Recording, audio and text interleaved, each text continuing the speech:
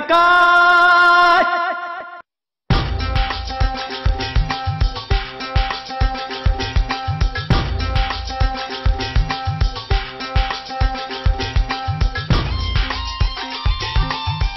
नमस्कार। जायके की तलाश में इस वक्त हम जा रहे हैं जगन्नाथपुरी की तरफ़। ये पिपली गाँव है। सन दस सौ चौवन, दस सौ चौवन। कल्पना कीजिए कितना पुराना गाँव है ये। सन दस सौ चौवन में राजा बिरक्षोर ने यहाँ के लोगों को बसाया था। ये गाँव मशहूर है अपने एप्लीक वर्क के लिए। एप्लीक माने कपड़े के डिज़ाइन काट कर दूसरे कपड़े पर उसको सिलना, जैसे आप देख सकते हैं यहाँ पर। ये लैंप शेड्स वगैरह देख सकते हैं आप। इसी तरह चद्दरें, छतरियाँ, ये कलाकार बनाते हैं। तो मंदिरों के लिए और जो दरबार था राजाओं के लिए, इन दर्जियों को प्रश्रय दिया गया और ये गाँव बसाया गया। हम यहाँ का जायका देखेंगे एप्लीक वर्क का।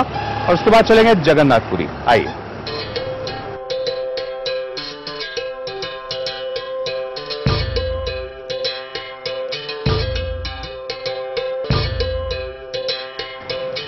ये है यहाँ का मशहूर एप्लीक वर्क। इसका जायका आप तक पहुंचाना बहुत ज़रूरी था।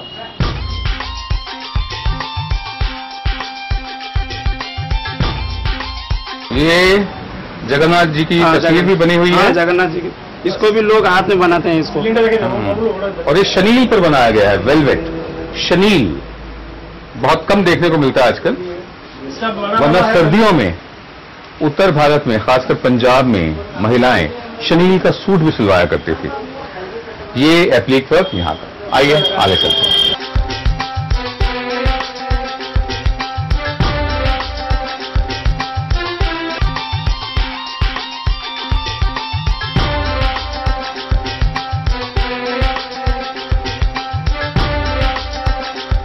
मैंने उड़ीसा के लोगों में और दक्षिण भारत के लोगों में एक समानता पाई है। दोनों बहुत ही शांतिप्रिय होते हैं, भले लोग होते हैं। उत्तर भारत के लोगों की तरह उनमें खामखा का एग्रेशन नहीं होता।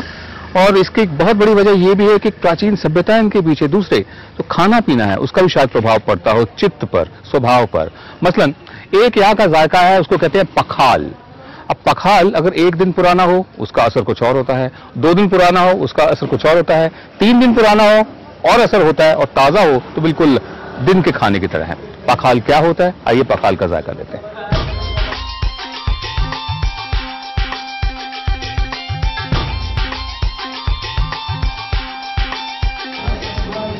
ये है पखाल साहब, देखिए जरा। पखाल माने चावल चावल में दही डाल के, नींबू का रस डाल के, नींबू के पत्ते डाल के, जीरे का छौंक लगा के इसको रख दिया जाता है। अगर एक रात पुराना हो तो इसमें हल्का सा नशा आता है। दो रात पुराना हो तो और नशा होता है। तीन रात पुराना हो तो और ज़्यादा। चार रात पुराना पखाल अगर हो तो वो हंडिया की तरह होता है। हंडिया जो संथाल ट्राइब के लोग संथाल कबीले के लोग या और कबीले वाले पीते हैं राइस बियर बोल सकते हैं उसको। टिबिटन छांग जो होती है वो भी चावल से बनती है। ये पखाल जो है अगर ताज़ा बना हुआ तो दही दाल चावल द, दही और चावल की तरह और साथ में पानी और नींबू और बाकी चीज़ें हैं। जितना पुराना होता जाएगा उसमें बियर का राइस बियर का प्रभाव आता जाएगा। ये ताज़ा बना पखाल है चकले जायका इंडिया का चखले जायका इंडिया का चखले जायका इंडिया का। ऐसा जायका मैंने पहले कभी नहीं लिया। दक्षिण भारत का जो कर्ड राइस होता है उसमें अगर नींबू डाल दिया जाए और उसमें सरसों के दाने ना हो तो पखाल जैसा स्वाद उसका होगा। बहुत उम्दा स्वाद बहुत उम्दा।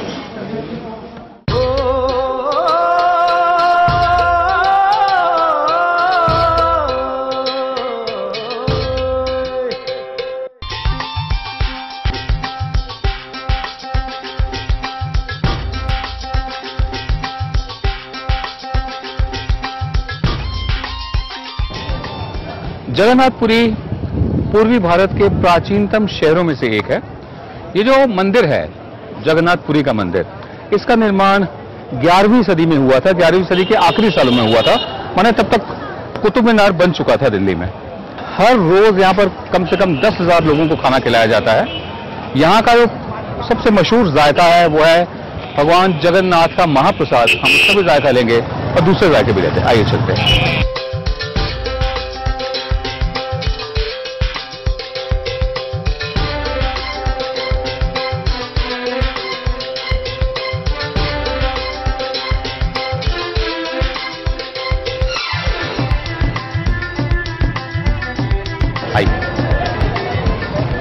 ये जो आप देख रहे हैं, ये प्रसाद कहा जाता है। इसे खाजा बोलते हैं, खाजा। खाजा, ये सूखा प्रसाद होता है जो लोग इसे घर ले जाते हैं।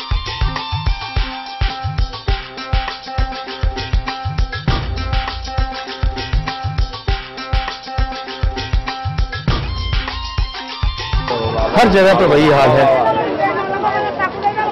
बुज़ुर्ग, विधवा महिलाएँ आपको ऐसी जगहों पर मिलेगी।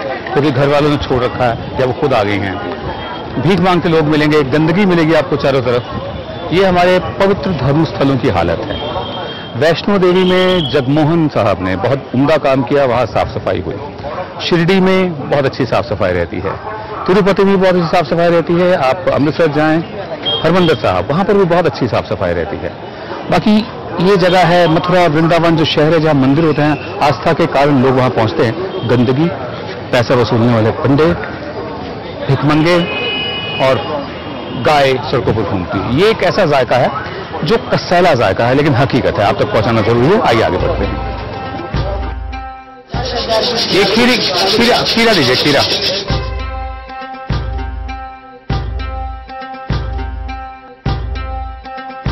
खीरा जिसे कहा जा रहा है यहाँ पर, वो दरअसल खीर कहलाती है उत्तर भारत में और खीरी भी कहलाती है। पायसम दक्षिण भारत में कहलाती है। लेकिन यहाँ के लोगों का मानना है कि खीर का जो आविष्कार हुआ जिसे खीरा बोलते हैं खीरी भी बोलते हैं वो जगन्नाथपुरी में ही हुआ और करीब तीन हज़ार साल पहले हुआ। देखते हैं यहाँ की खीर की क्या खासियत है। चखले जायका इंडिया का चखले जायका इंडिया का चखले जायका इंडिया। पेड़ा जो होता है ना इसका स्वाद पेड़े जैसा है। बहुत उमदा।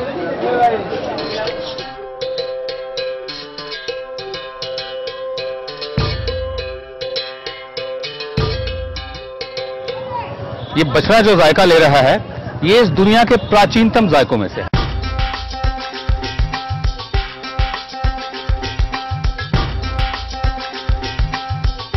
इनको बहुत अच्छा लगता है जायका भी और खबरदार भी। और आज सोचे थे मेरे बारे में। आज सुबह। आज सुबह। थैंक यू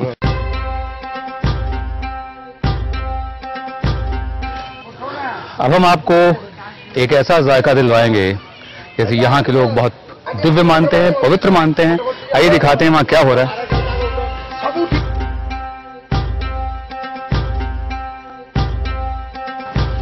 ये देख रहे हैं आप?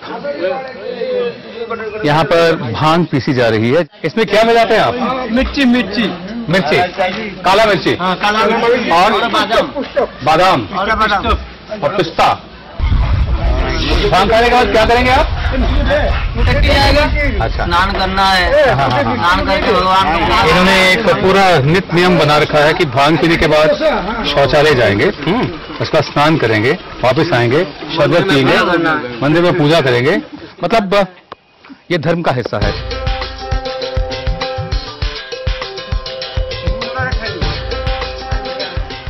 बहुत उम्दा बहुत बढ़िया। ऐसा जायका मैंने अभी तक नहीं देखा। मैं मथुरा में भी गया हूँ, बनारस में भी गया हूँ। जगन्नाथपुरी का जायका बहुत अच्छा।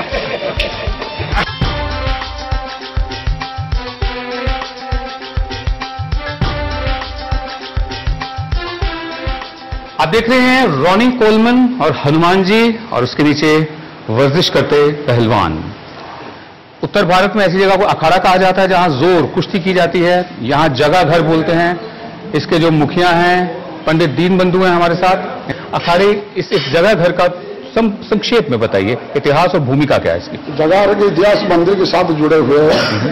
जब महाराजा इंद्रदमन ने ये मंदिर को बनाया है तो बनाने के बाद में ये मंदिर का और हिंदू धर्म का संस्कृति जगन्नाथ जी का जगन्नाथ जी धर्म का सुरक्षा के लाने ये एक जगह घर नहीं है पूरे पूरी सिटी भर में हर बस्ती में हर गली में जगह घर उन्होंने बनाया। बहुत धन्यवाद आपका।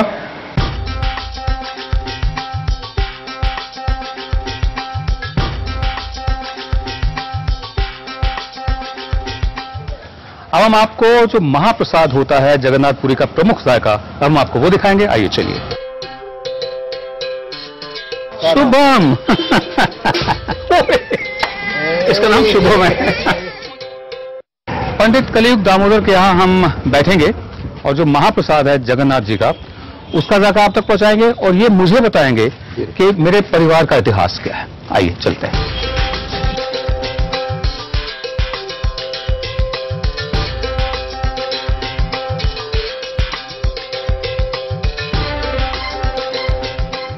ये महाप्रसाद जो है ये दिन में कितनी दफे बनता है कितना बनता है? भगवान के प्रसाद इधर छह टाइम भोग लगता है। छह टाइम। छह टाइम। ये क्या है? वो है खिचड़ी। खिचड़ी लाइए। वो भगवान के ज़्यादा हाँ। अल्प लगा। अच्छा ये खिचड़ी। हाँ जी। सादा? एकदम सादा है। अदरक भी आ रहा है। मूंग का पता नहीं चल रहा है इतना। और हींग का जो विफ होता है जो लपट जिसे बोलते हैं वो भी आ रही है। ये क्या है पंडित? वो थोड़ा घी राइस है। ये क्या है जी? वो मालपुड़े मालपुए के जायके से हम सब वाकिफ हैं। इसमें फ़र्क इतना कि गुड़ के बने हुए मालपुए हैं। बहुत बढ़िया है। दालमा हमने भुवनेश्वर में भी इसका जायका लिया था यहाँ लेते हैं। ये महाप्रसाद है। बहुत अच्छा है। सादा एकदम। कोई मसाला नहीं है नमक है। और दाल का आधार है और बाकी सब्ज़ी है इसमें। ये मीठी खिचड़ी वो थोड़ा मीठी खिचड़ी है। ऐसा जायका मैंने कभी नहीं खाया पहले कि मीठी खिचड़ी में यूँ तो दक्षिण भारत में पोंगल बनता है वहाँ उसमें कपूर कैम्फर भी हल्का से डालते हैं लेकिन ये जो मीठी खिचड़ी है इसमें इलायची दालचीनी का जायका सिनेमन वो आ रहा है और साथ ही में लौंग का जायका भी आ रहा है। बहुत उम्दा बहुत उम्दा अपने किस्म का अनोखा जायका है ये।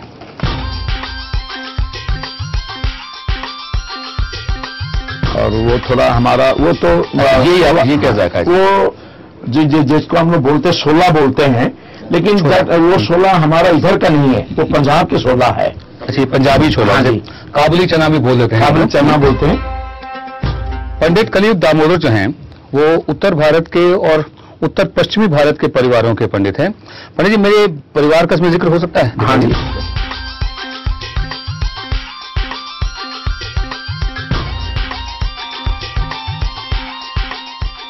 विनोद दुआ पिताजी का लीलाधर दुआ जी। और त्रिलोक चंद दुआ। दादाजी का नाम हाँ जी। जी कमाल की बात है ये जायका देखिए सदियों पुराना जायका हरिद्वार में जाएँगे वहाँ पर भी आपको अपने परिवारों के इतिहास मिल जाएँगे जगन्नाथपुरी में अपने परिवार का इतिहास मिल रहा है जी। इसमें क्या है? इसके अंदर में थोड़ा भगवान का मिक्स्ड वेजिटेबल है। Mix vegetable. में वो आप लोग का आएगा देखिए। कहीं नहीं मिलेगा वो आएगा कचारू कचालू आएगा और इसका अंदर में नारियल आएगा। और इसका अंदर में थोड़ा आप लोग का कद्दू भी आएगा जी। और थोड़ा पीठा भी आएगा। जीविकंद भी है हाँ जी। तो जैसे अवेल होता है उस ढंग का है लेकिन उड़िया कुकिंग है इसकी क्योंकि हमारा मंदिर के अंदर में आलू नहीं आता। है आलू टमाटर गोभी लाल मिर्च भिंडी कलरा वो सारा तामसिक खाना है। इसलिए जगन्नाथ जी के पास में जो इधर प्रोडक्शन होता था वही आता था। हम समझते थे आलू भी कोई बाहर का चीज़ है बीज है इसलिए आलू भी परमिटेड इधर नहीं है।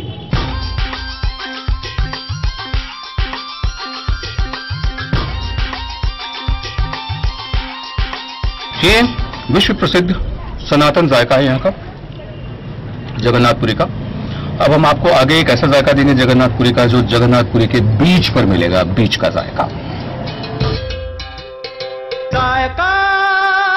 इंडिया का इंडिया का।